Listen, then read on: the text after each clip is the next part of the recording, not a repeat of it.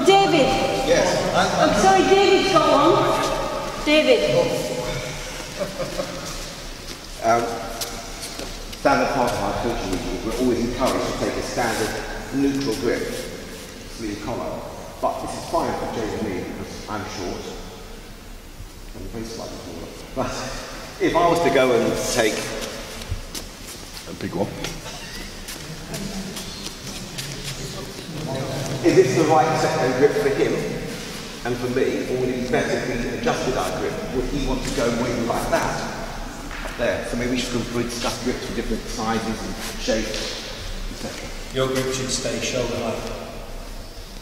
Okay. So that's the question. What do you think? Thank you. Well, I wouldn't Thank you, comment David. that, Thank you, but- Harry. Thank you. Anybody have any uh, ideas on, on that? Yeah, you, you, you, um, my grip, so if he's up here, my grip shouldn't be higher than my shoulder. Here. So if he's a really big tall guy, this is my gripping position, not trying to stretch up here. I'm not going to bend it down because that's not big on me. I should grip here and work inside. Any other comments? What is the other way around? And uh, you're not the small one, but the tall So one. if he's the tall one, he, Yeah. can, he, he would be no doubt over the top and take, Yeah, from yeah. Yeah. He has that advantage. I mustn't allow him to, to, to go over the top. I've got to stop that. Moira? So there's not much difference in our size, but when we used to compete, I used to always try and keep my hand low because as soon as somebody lifted it up, that was it. As soon as she got my arm up, we used to grapple over that because I kept that down. And we used to try and get my hand up, and once she got it up, I was off balance technically because I was reaching. Maybe bring them to the same height, same shoulder size. Like Aki, Aki and Sato years ago. Brought it down to the same. And then he went into Kobuchi. Um, I would say a couple of things. One of the things is, depends which techniques you do. Depends which techniques you do. And usually, you're, e- you, you're either, I'm small, okay? So I'm usually uh, practicing or fighting against taller ones, usually, especially in practice. So you tend to develop techniques linked to your size, you? tend to do. Uh, if you're taller, tallish, you tend to practice with, well, smaller ones or, or same size. So you tend to develop your techniques, yeah, again to what to, depending on your size. Yeah, is that, do, do you agree with me? That, you know, probably, probably you used to do all Ochi or Chimato Osoto, whereas uh, Anne maybe it was more Seoinage, uh, Moira probably more Harai. I mean, that's way. I'm more Seoinage. I'm not sure about Louise because you're sort of in, you've got good strength. I don't know, maybe it's Harai, maybe it's Seoinage, I don't know. Harai, yeah, so. Probably you you probably don't do Seoinage, do you? No. So, so it does depend on your grip, you know. Um, but I would say if anybody's gripping here, then it's a waste of time. Yeah. I always say, um, clavi, uh, collar, collarbone, collar, collar, yeah, collarbone.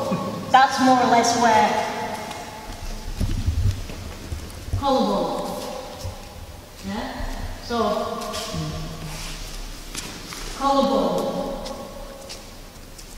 If I go here, you know, I'm not, I'm not going to be controlling much because grip is not just about uh, attacking, it's also about controlling. We saw some movement this morning, so uh, it's also about controlling, it's also about, it's about having, this um, weight on the partner. If I'm down here, then I can't control my partner. If nothing there, whereas here, I've got a, a bit more chance of starting to control the partner's balance. Yeah. So I usually say collar, collar grip. There are very tall people who will then natu- naturally hold here, which for me is fair enough. You know, here. It, it, it's a pity when you get into stuff like into stuff like this because, it, you know, for kids. But really tall ones here and using this kind of and balance. You know, we say we sometimes say never lift the elbow, but you know, even in even stuff like Osoto, breaking the balance. Uchimata. Sorry, sorry, sorry. Taller people. So depends, you know, if you're extremely tall. But I would say, David, because uh, this hand, you know, is important for keeping the distance, controlling. This, this hand is very important here. Where if it's, if it's round here, except for pulling the head down, okay, we can do that. But except for that, it's not that useful. And also down here is not that useful either. Whereas here, you know, Nathan's small guy, he's here, isn't he? He's collar. He's a collar guy, and then from there he can go to his silly name. Yeah, I prefer to go drink as well. I, I, where I'm older than you, right, I prefer to come over as well. Yeah. So I'm here.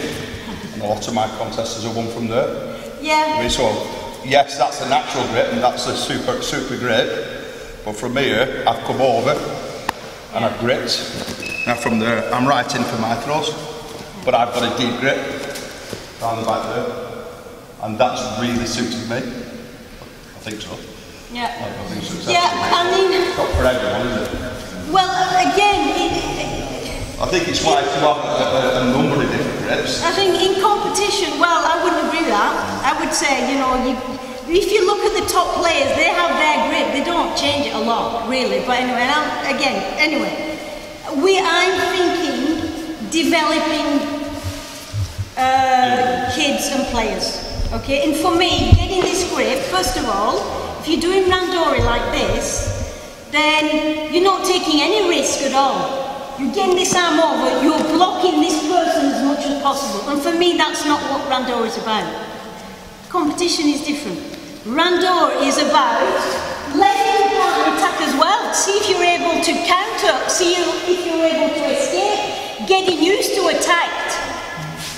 How many times you see people who do randori like that and they get attacked? It looks like a weak attack. They've never been attacked before. They just go over and.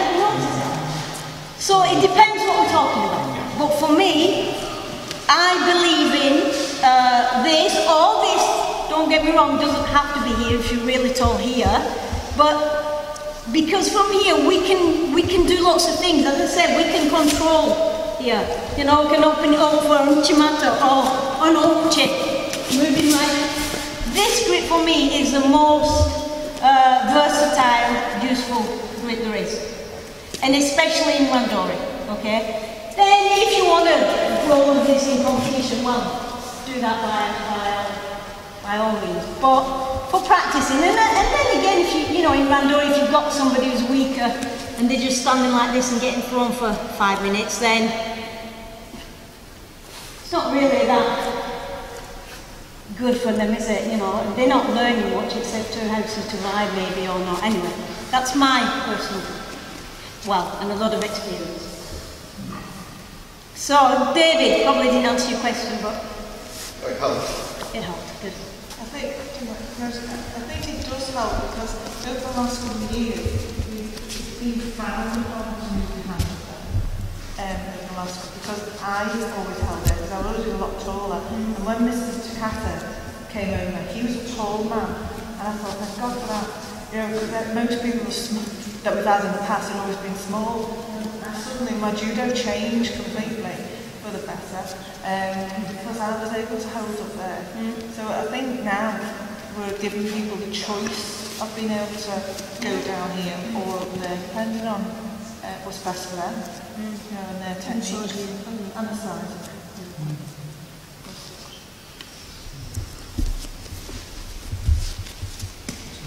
Um, well, let's try that then. Sorry, I'll, I'll get a. Let's let's try this. So from here, okay, we can go from a hajime position. Okay, it's does. Okay, hajime. Immediately, just two hands on, and can you see what's happening to him already? Let's go again. So look, we're starting on here, and this dark green. Okay, from here. Hajime. Look at what's happened. What's happened to him?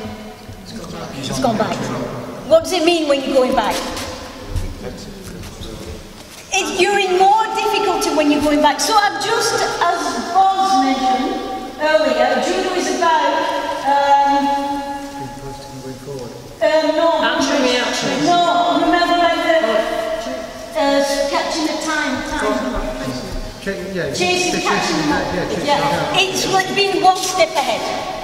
What? Yeah. So if I can start like this, then I've got one step ahead. He's not just concentrating on getting the grip, he's concentrating on getting his balance, not being pushed out of the area if he's in a competition situation. Okay? And then from there, don't make it too competitive, just to feel from there. Okay, so from here, grip, and then like this. Pushing, releasing, pushing, releasing. Pushing, releasing, pushing, releasing, pulling, moving, pushing. And go. Big tiring, don't go too fast.